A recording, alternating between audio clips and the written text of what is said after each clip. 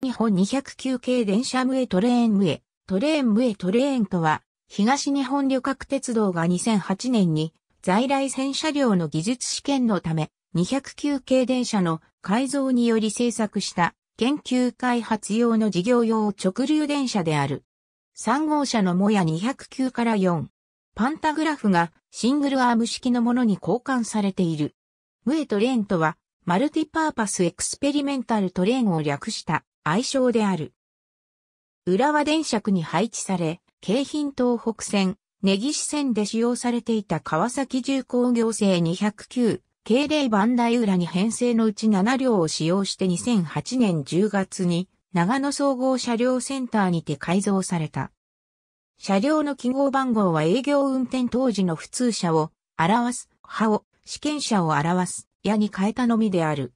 改造後は川越車両センターに配置され、首都圏の在来線で走行試験が行われている。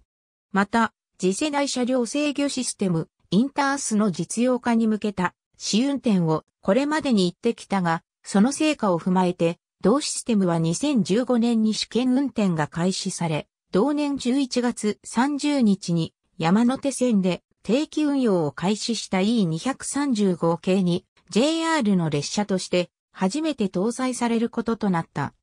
E235 系の定期運用が開始された今日でも当試験車における試運転は継続されている。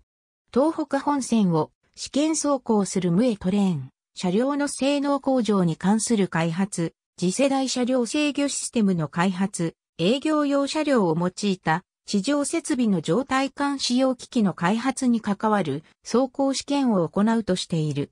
主な試験実施内容車両の性能向上に関する開発次世代車両制御システムの開発7両、編成であったが、4号車を抜いた6両編成で運用されることが多かった。試験終了に伴い、サヤ209から8は2010年度に廃車され、以降は6両編成で試験に供されている。4号車のサヤ209から8。改造後に中央部の窓と行き先表示装置が閉鎖された。白い模様は車体中央で V 字状となっている。明るい未来、希望を表現する白を帯色とし、多くの分野の光り輝く新技術が集結して新しい鉄道システムを構築するイメージを帯に集めるブロックパターンとつながったミューの文字により表現している。編成両端各3両のブロックパターンは4号車方向に下がる斜め模様となっており、4号車の模様は V 字状となっている。ATSP、ATSSN、ATC-6 といった複数の保安装置を搭載し、様々な路線、状況での試験が可能となっている。